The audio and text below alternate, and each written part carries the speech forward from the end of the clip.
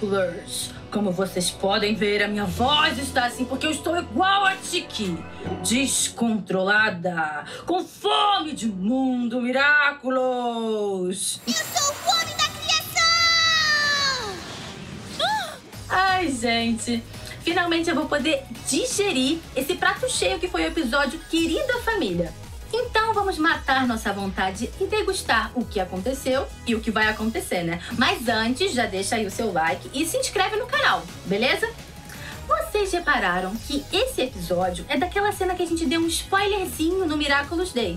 E se antes já tinha sido incrível visualizar a cena com a ilustração da Isabela, agora foi muito maneiro ver o que realmente aconteceu e entender melhor né, o contexto, as causas e consequências.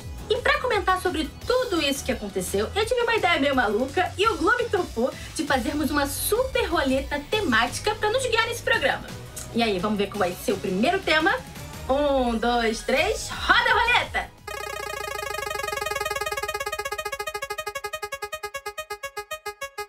Coroa! Boa, boa! Isso me lembra que esse episódio se passa no Dia de Reis. E assim, eu gosto quando a gente aprende aqui, né, as tradições de outros lugares, não sabia que a França tinha isso. Marinette, Oh. Marinette, que cheiro é esse? Hum, é galete. É uma torta folhada. Todo ano no dia de reis, na mesma hora, quem achar o brinde na fatia usa uma coroa de papel.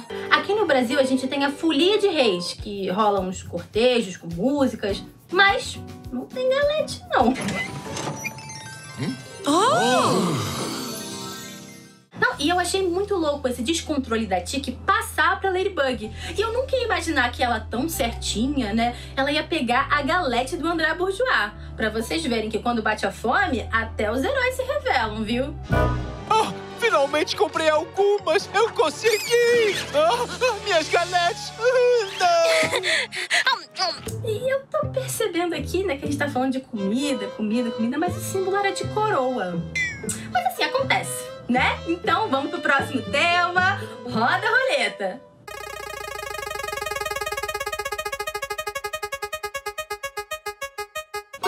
Kwamis! Eles tiveram muito destaque nesse episódio. Como todos eles viram o que estava acontecendo com a Tiki e inclusive alertaram a Marinette do problema, eu fiquei aqui pensando, e se outros Kwamis perdessem o controle? O que será que o Plague faria, por exemplo? Por acaso lembra do sumiço de Atlântida? Eu tinha comido queijo demais. E a torre inclinada de Pisa? Eu não vi. Os dinossauros?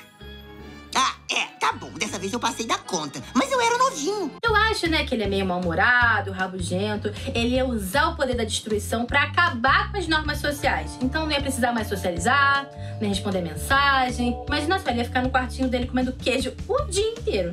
Pra que esquentar com as garotas quando você podia estar curtindo isso? Já a Trix, ela é bem vaidosa, né? Então eu acho que ela ia usar o poder da ilusão dela pra conseguir as melhores makes e as melhores roupas do mundo. Como se a minha ajuda não bastasse pra proteger Paris. Assim é bem mais prudente, Trix. A Pollen é super devota da sua rainha, independente de quem seja, né? Coisa de abelha. Mas eu acho que ela ia usar o poder dela pra poder conseguir tudo o que a portadora quisesse. No caso atual, a Zoe.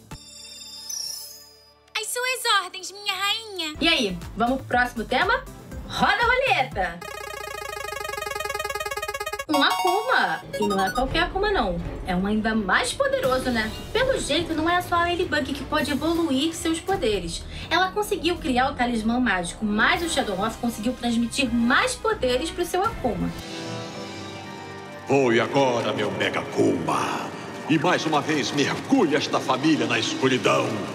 Será que a Ladybug vai conseguir melhorar o talismã mágico?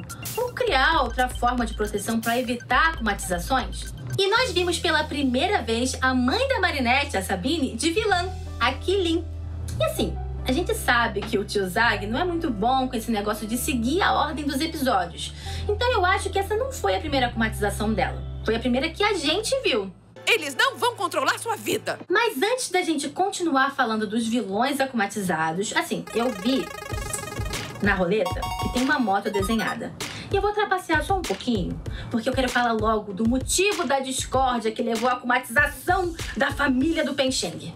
1.800 cilindradas, dois cilindros, 0 a 300 km por hora em 5 segundos. Depois da leitura da cena inédita no Miraculous Day, a gente ficou se perguntando o que teria feito toda a família do Pencheng ser akumatizada.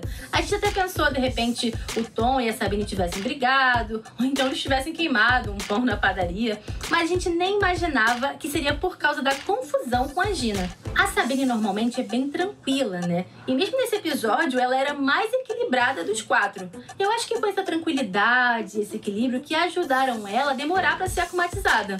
E eu achei legal ela falando pra Mari que era ela quem deveria decidir. Só quem sabe do que a Marinette precisa é a própria Marinette. Mas eu fiquei pensando, gente, a Mari já é atrapalhada a pé. Imagina de moto. Aí vai que um dia ela tá lá andando de moto e de repente o Adrian passa. Aí ela olha, fica nervosa e pum, causa um acidente. Não, não, melhor nem pensar. A Emily! Ó, esse tema eu tava esperando muito porque é raro ela aparecer, né? E é sempre impactante ver ela naquela cápsula. Ainda mais depois de ouvir o Gabriel Agreste falar que queria o Miraculous da criação e da destruição para destruir esse mundo e criar um outro onde eles não ficassem mais separados. Emily, minha rainha. A Ladybug e o Cat Noir escaparam de mim outra vez. Mas nunca vou desistir. Vou conseguir os Miraculous deles. Graças às forças da destruição e da criação, eu vou destruir esse mundo que tirou você de nós e vou construir um novo onde nunca mais vamos nos separar. E isso de construir outro mundo é maior doideira, né? Imagina só os nossos heróis em outro cenário, sem ser Paris, nem Xangai, nem Nova York. Em outro planeta, com os heróizinhos ETs também. Gente, que doideira. Acho que só ia valer a pena se todos os nossos amados personagens estivessem lá. Mas aí vai sair cara essa viagem espacial, né? Mas enfim, enquanto estamos neste planeta, vamos pro próximo tema. Roda a roleta! Coração! O amor está no ar! E o grande chip desse episódio foi Lady Noir. Um de nossos heróis viraram rei e rainha. Já que eu sou o rei, quer ser minha rainha, Ladybug?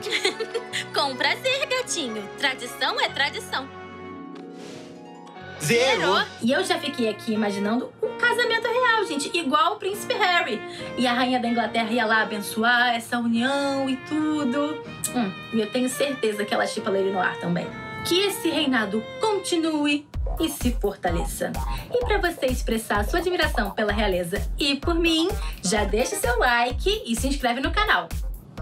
Como vocês puderam ver, a nossa roleta já está completa, o que significa que o nosso Mundo Miraculous de hoje está acabando. Mas já já eu tô de volta. Tem muito episódio novo pra gente comentar. Até a próxima, Miraculous. Tchau, tchau!